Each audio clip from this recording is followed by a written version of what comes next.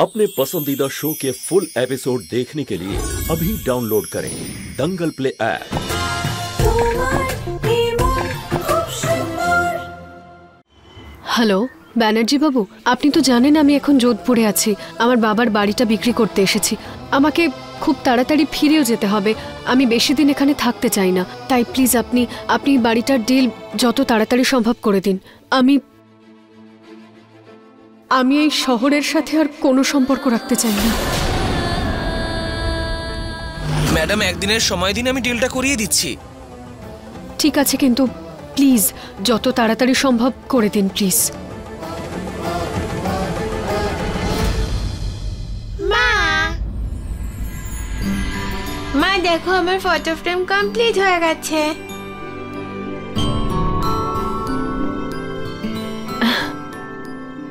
আরে বাহ এটা তো কি সুন্দর হয়েছে। Thank you Ruhi Juhi.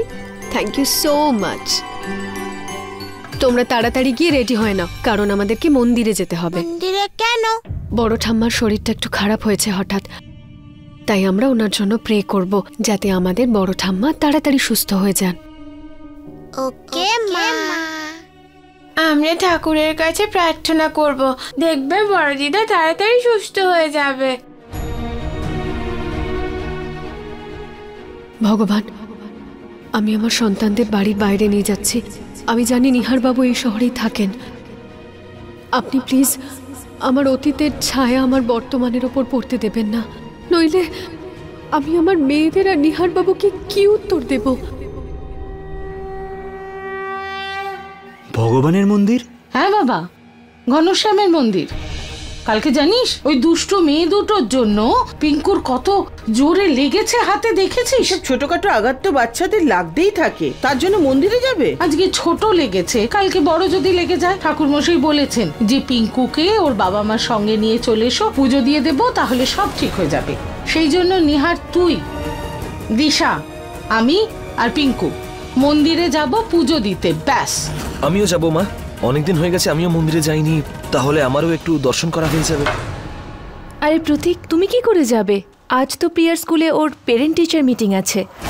আর তাছাড়াও তোমার যাওয়ারই বা এত দরকার কিসের? তুমি তো প্রিয়ার বাবা তাই না? পিঙ্কুর বাবা তো হলো নিহার। ও সামলে নেবে। ও হ্যাঁ আমি তো বলেই গিয়েছিলাম। হ্যাঁ প্রতীক তোর যাওয়ার কোনো দরকার নেই। তুই চলে যাস পেরেন্টস মিটিংয়ে নিহার!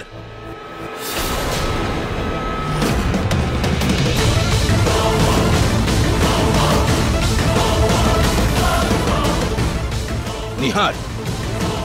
হ্যাঁ বাবা। এই মহেশ্বরীদের প্রজেক্টটা তুমি হ্যান্ডেল করছ তো। হ্যাঁ। আজ হলো এর ডেডলাইন হুম? এখন অবধি একটাও ডিজাইন সাবমিট করা হয়নি। এই প্রজেক্টে যদি কোনো রকম লোকসান হয়, তাহলে সেটা তোমার মাইনে থেকে কাটবো আমি। আর এইভাবে যদি ব্যবসায় বারবার লোকসান হয়, তাহলে তোমাকে চাকরি থেকেও আমি বরখাস্ত করব। তোমার থেকে ভালো কাজ তো আমাদের অফিসের ক্লার্করা করে।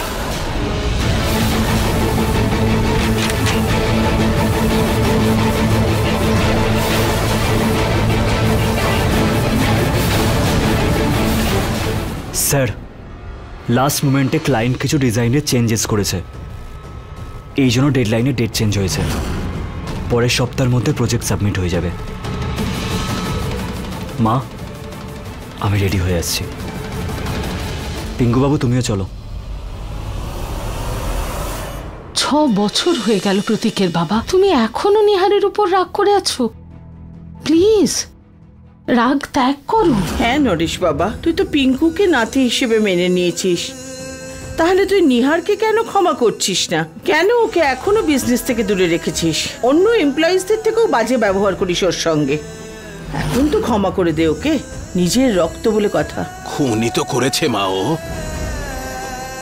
আমার বিশ্বাসের আমার সম্মানের ওর ভুলের জন্য আমার লক্ষ্মীর মতো বৌমা রুচিতা এই বাড়ি ছেড়ে চলে গেছে। যখনই আমি ওকে দেখি, তখন আমার মনে হয় রুচিতা আমাকে এসে প্রশ্ন করছে যে, বাবা, আপনি আমাকে কেন নিয়ে এসেছিলেন এই বাড়িতে বউ করে?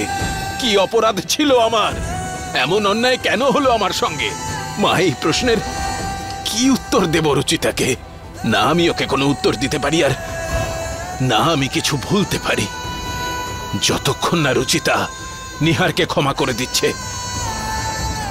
আমি ওকে ক্ষমা করব না।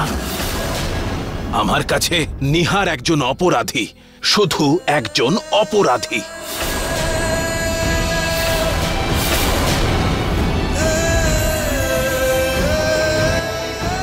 আমি তাহলে বেরোচ্ছি।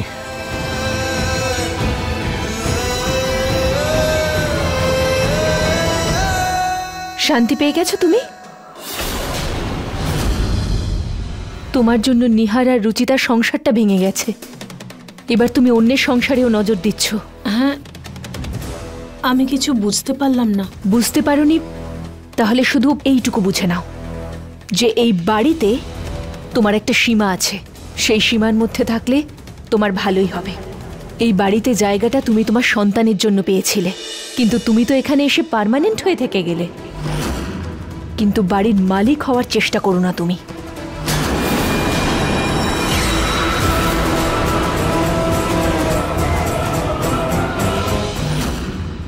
দিশা? এখানে দাঁড়িয়ে আছো কেন? মন্দিরে যেতে হবে তো। তাড়াতাড়ি করো। হ্যাঁ আমি এক্ষুনি আসছি। আজকে শান্তিমতো পুজোটা হয়ে যাক।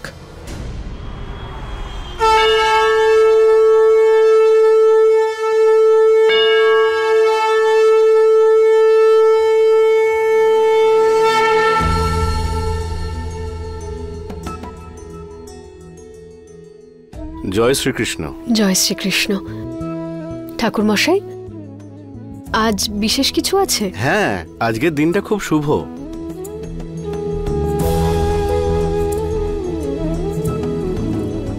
ওম কৃষ্ণায় বাসুদেবায় নম ওম কৃষ্ণায় নম। ভগবান সবাইকে সুস্থ রেখো ভালো রেখো ওম। সুখে থেকো নিজের মা বাবার মুখ উজ্জ্বল করো। এই নাও প্রসাদ। প্রসাদ।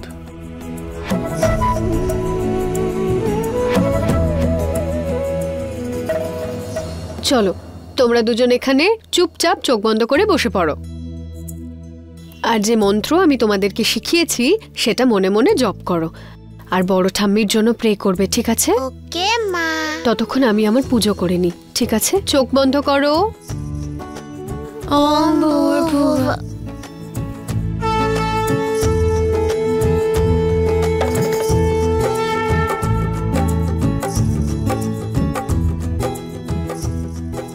রুহি ভগবানের ওই মন্ত্রটা যেন কি ছিল? তোর জন্য আমিও মন্ত্র ভুলে না, গেলাম। তুইও ভুলে গেছিস। এবারে কি করব? চুপচাপ এখানে বসে মায়ের পুজো শেষ হওয়া পর্যন্ত ওয়েট করি।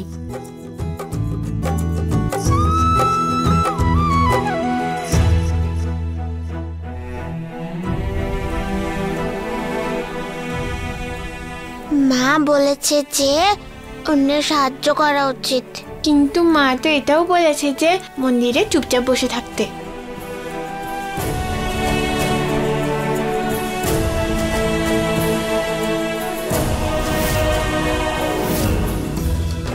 তাহলে তুই এখানে বসে থাক আমি যাচ্ছি ওনাদের সাহায্য করতে।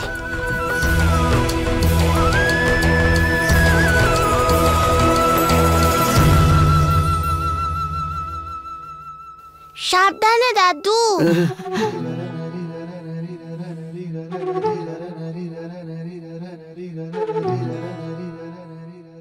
চলো দাদু আমি তোমাকে বাইরে ছেড়ে আসছি।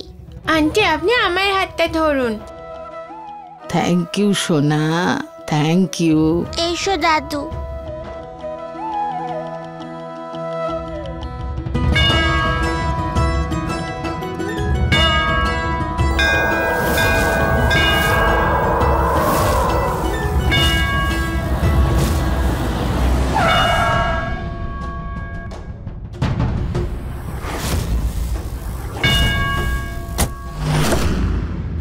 তোমরা ভেতরে যাও আমি গাড়ি পার্ক করে আসছি। আচ্ছা।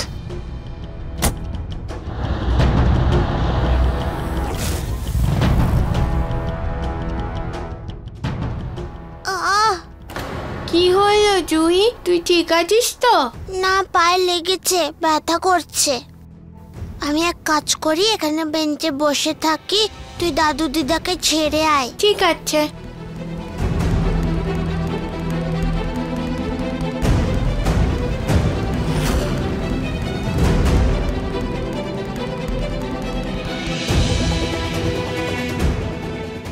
দিশা এখান থেকে পুজোর জন্য ফুল নিয়ে নি তারপর তুমি সামনে থেকে ঘটিতে জল নিয়ে নিও। ঠিক আছে। এসো।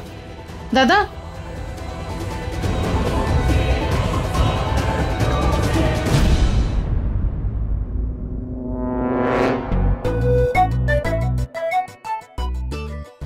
এটা তো কালকের সেই মেয়েটা।